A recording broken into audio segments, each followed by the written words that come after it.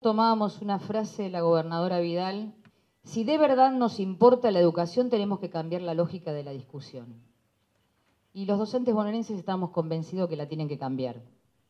Por eso estamos pidiendo que suspendan el cierre de las escuelas, que suspendan el cierre de los bachilleratos de adultos, que abran todas las escuelas que se necesitan en la provincia de Buenos Aires, que nombren a todos los docentes que se necesita para poder discutir una educación de calidad y que nos convoquen para discutir en serio un salario, porque cambiar la discusión implica que un gobierno nos reconozca.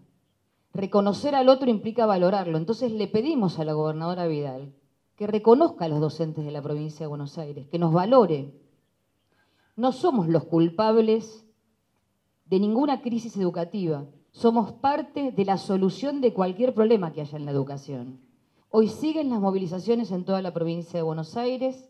Vamos a ir a La Plata a exigir que cesen con aplicaciones que implican ajuste y que nos convoquen para darnos un salario que no sea la baja, sino que contemple fundamentalmente el poder adquisitivo de los trabajadores de educación. Muchas gracias.